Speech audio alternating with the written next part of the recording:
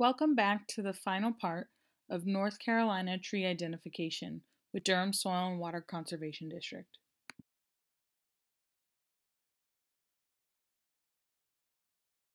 The flowering dogwood.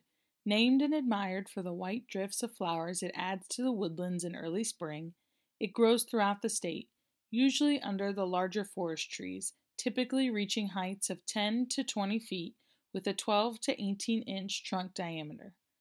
The leaves are opposite and 3 to 5 inches long. The veins curve like a bow and tend to parallel the margin of the leaves. The bark is dark red brown, dividing into small, scaly blocks on older trees.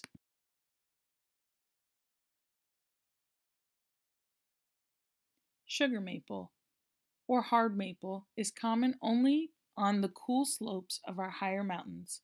Leaves are opposite, palmately lobed, and veined, and have five lobes, in rare cases, three lobes, that are separated by rounded, shallow sinuses. Leaves are three to five inches in length and width, heart shaped with sparse, large, pointed teeth on the margins. Red maple also called swamp maple or soft maple, is widely distributed through the state.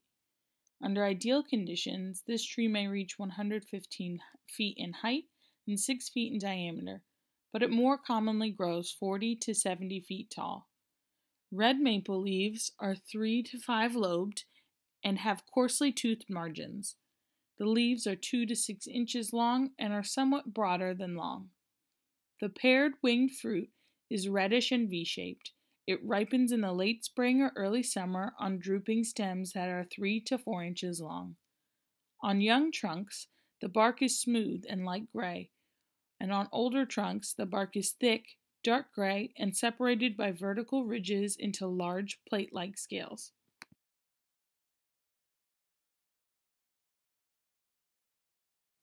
Black walnut Black walnut only grows well on rich bottomlands in moist, fertile coves and on lower slopes throughout the state. Its leaves are alternate, pinnately compound, 12 to 24 inches long, with 15 to 23 sharply oval, fine toothed, long pointed leaflets. The bark is thick, dark brown to black, and is divided by deep fissures into rounded ridges. Honey locust.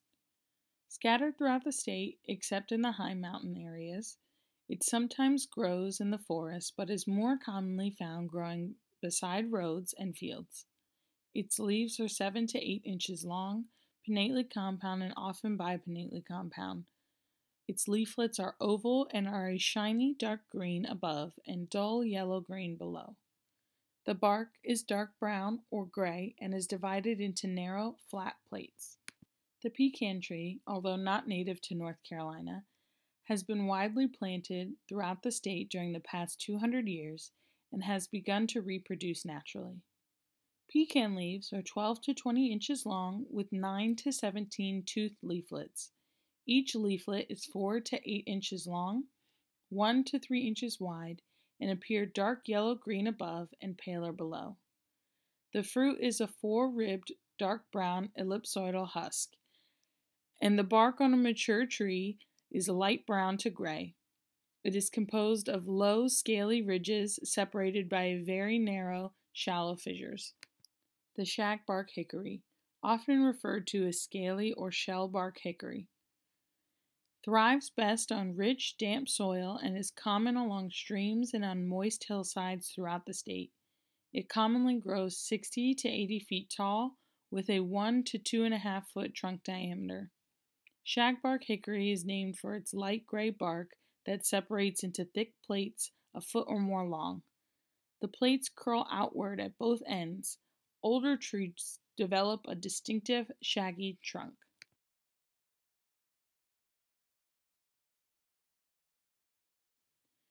Green ash, also called red ash, is the most widely distributed of the ashes among the state. It's common along river and low grounds in the Piedmont of North Carolina. The compound leaves, oppositely attached on the twigs, are 6 to 9 inches long and have 7 to 9 entire or obscurely toothed leaflets. They are green on top and lighter green on the bottom. The bark is a half inch or more thick and is brown tinged with red and is slightly furrowed or ridged. Thank you for sticking with us through all four parts of North Carolina tree identification with Durham Soil and Water Conservation District.